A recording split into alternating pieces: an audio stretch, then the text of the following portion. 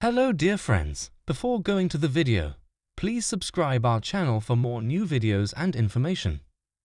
Cillian Murphy's final performance as Tommy Shelby in Peaky Blinders earned him his first BAFTA TV Awards nomination. The actor will compete in the leading actor category, having received recognition for his work in BBC One's hit gangster drama for six seasons. His only previous BAFTA nomination was for the Rising Star Award at the 2007 Film Awards.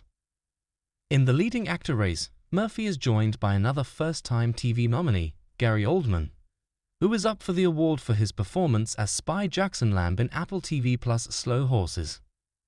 Ben Whishaw, This Is Going to Hurt, Martin Freeman, The Responder, Chaske Spencer, The English, and Taron Egerton round out the Best Actor nominees Blackbird, Daniel Radcliffe for Weird. The Al Yankovic story was another first time BAFTA TV Award nominee